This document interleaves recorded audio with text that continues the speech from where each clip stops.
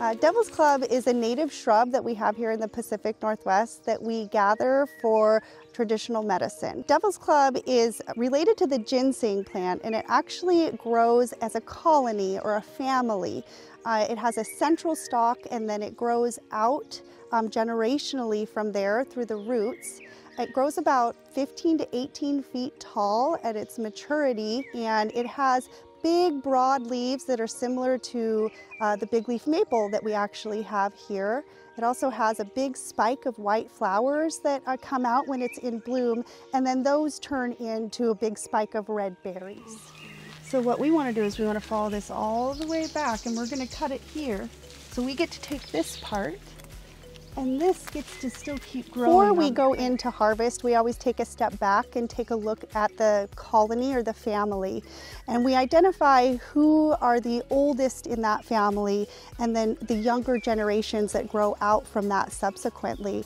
And then we harvest strategically from those different aged plants, a few from each generation, leaving the oldest plants in place. For that one, okay?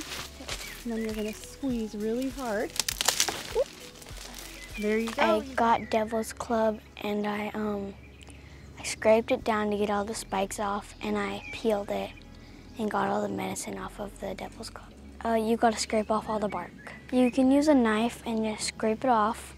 After you scrape off the bark, you take like, you can use like a knife or a butter knife and just put a line through the skin, the green part of the skin, and you pull the skin off, and that's where the medicine is.